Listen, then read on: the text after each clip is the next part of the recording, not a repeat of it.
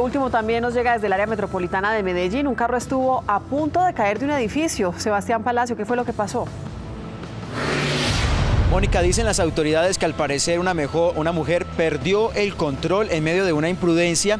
El vehículo con la fuerza choca contra la pared de su parqueadero, en este caso en un conjunto residencial del municipio de Envigado. En ese instante el vehículo, como ustedes lo ven en este momento en imágenes, quedó la parte o la mitad del vehículo colgando literalmente. A esta hora, el cuerpo de bomberos del municipio de Envigado atiende la emergencia. La mujer, más allá del susto, quedó ilesa de este accidente. Información desde la ciudad de Medellín, Sebastián Palacio, Noticias Caracol.